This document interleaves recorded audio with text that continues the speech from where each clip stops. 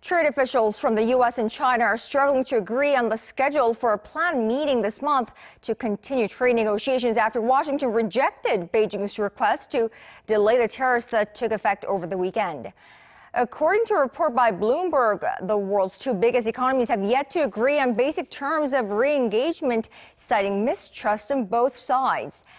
Meanwhile, China announced on Monday it had lodged a complaint with the World Trade Organization after the U.S. imposed a 15% tariff on $125 billion of Chinese goods. China's Commerce Ministry says the tariffs imposed by the U.S. severely violate the agreement reached by the two heads of state in Osaka, referring to the G20 summit in June.